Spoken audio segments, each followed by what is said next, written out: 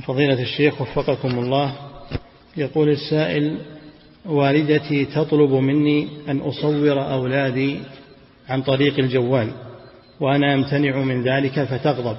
فهل خلها تغضب؟